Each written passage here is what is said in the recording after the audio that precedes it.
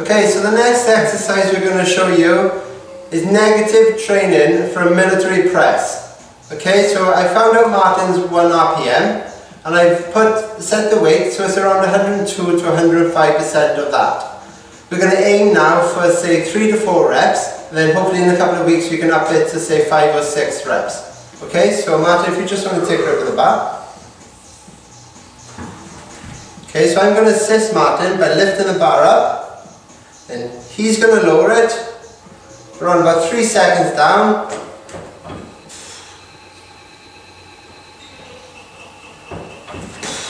Okay, one more.